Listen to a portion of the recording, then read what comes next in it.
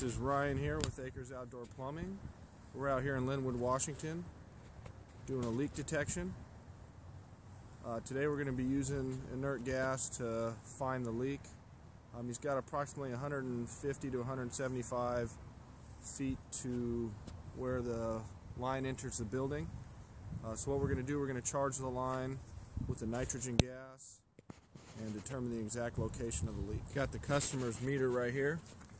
Uh, you can see that little little red dial ticking away.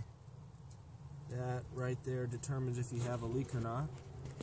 Now if that if there's no water being used inside the house, this uh, little red triangle that's spinning should should be uh, airtight. Here's our compressed nitrogen set up here. We've got the the regulator turned on, and we're pressuring the line at about 70 psi. Got Andy here uh, listening down the driveway. Uh, we're going to pinpoint the exact location of the water leak. Found the leak. Uh, right now he's just pinpointing it. Uh, when we do these leak detections, we not only look for the, the leak noise, but the intensity of the leak noise. And Andy's pinpointed it here.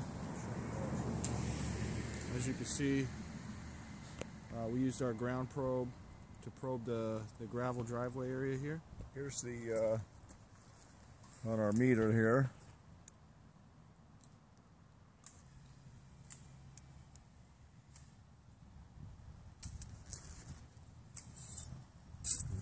Here.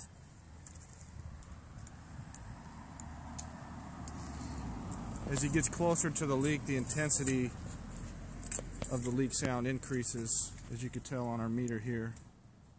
It pegs all the way to the top. That That's how we know yeah. we're right on the leak. Let's let them listen to this here, right? Put that up to the volume there. That's what a serious leak sounds like. This is Akers Outdoor Plumbing, leak detection experts. Everybody's working